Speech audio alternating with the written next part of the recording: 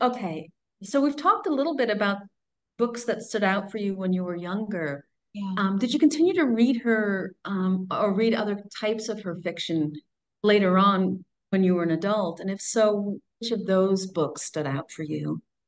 The ones that really stood out for me and and um, were very influential were the Flat Earth series, and I kept reading them as they were coming out. Uh, I read some of her other books, but the the ones I kept going back to as time went on were actually her short stories, her fairy tale stories, or stories about werewolves. And actually, it was because um, I was teaching college courses on fairy tales. And so I would give them to my students. Um, so, Beauty and the Beast stories, um, stories about girls who turn into wolves that were kind of playing with things like Little Red Riding Hood tropes. Um, and, and I read uh, some of her other books, but the the ones that were most important to me were um, sort of darkly romantic. And I, I wrote down in my notes dark romanticism because I think that that was Yeah. something that was one of the reasons that she was important. It was one of the things that you were getting from her that you weren't necessarily getting from some of the other writers.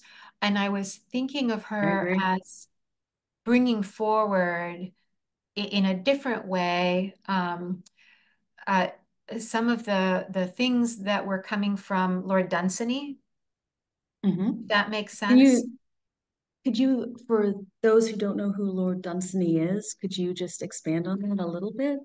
Yeah, he was an Irish writer, and um, it, it's interesting because we think of fantasy and science, sorry, not not science fiction now, put science fiction to the side, but we think of fantasy as sort of um, becoming really, really important with The Lord of the Rings, um, with Tolkien, and that's true in that it became a genre that had its own space in the bookstore, partly because, or, or maybe largely because of Tolkien's influence, uh, because a lot of people began to imitate Tolkien, but Tolkien was also coming from somewhere. And there's this whole history of British fantasy that is there before Tolkien. Um, and some of it, especially the really the, the British side of it is is very much um, well, not all of it. It Sorry, I, I'm thinking now with academic brain where you're always qualifying yourself, but I'm thinking of someone like George MacDonald. So his Okay. most famous books are um, for children.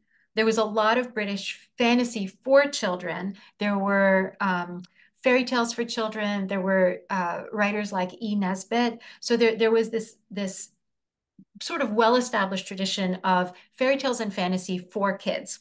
Lord Dunsany was Irish. He was hmm Anglo-Irish. And so he writes fantastical things and they're not for kids. He's writing them for adults. And they're, um, oh my gosh, how do you even describe them? Um, he's he's dipping into kind of Irish um, mythology and fairy lore. Uh, everything has this really magical feel to it. It can also be very dark.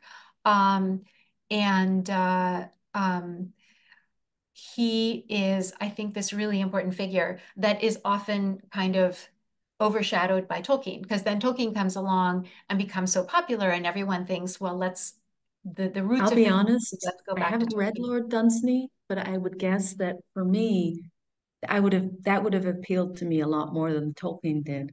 You know, like uh, Okay, sorry to put Lord Dunsany on your reading list. Um, I yeah. will tell you that um, in her book, The Language of the Night, Ursula Le Guin writes that she came too late for Tolkien. She was very much influenced by Dunsany because she found his book in her father's bookshelf.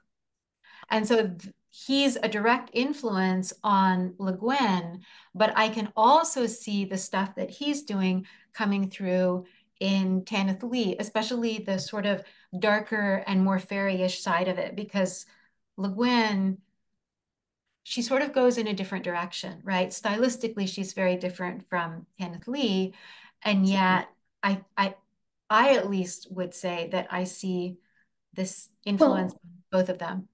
To bring it back to Tanith just for a second, I would say that in the way that you say this about Dunsany, it's true of Tanith too. It's that um, there's a broad array of styles that are influenced by her, even though she yeah. is distinctly herself. I mean, I, I think that's sort of the beauty of one generation of or a, one generation of authors influencing the next is that it's not linear. It's it's an explosion, you know, or or better than an explosion because that sounds kind of well, it is kind of chaotic. It's yeah. like a, a, a um unfurling of a garden, I suppose.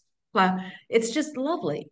It's, yeah. It's, it's like if if you have it's like a yarn explosion because you've got all it. these threads going in different directions and in terms of writers who are influenced by Tanith Lee, you have like you have me, you have CSE Cooney, um, you have You've got China Miéville is one too. Yeah, and, yeah, yeah, yeah, yeah. And that's you look at his stuff and you're like, I can kind of see it, but oh my gosh, he's really different from someone like Claire Cooney. So, yeah. you know, and and um Terri Windling, of course. Yes. Or um, um, there's on the science fiction side, uh, Martha Wells has stated uh-huh. that she's deeply influenced. And I would say again, that's a different, completely different style of writing.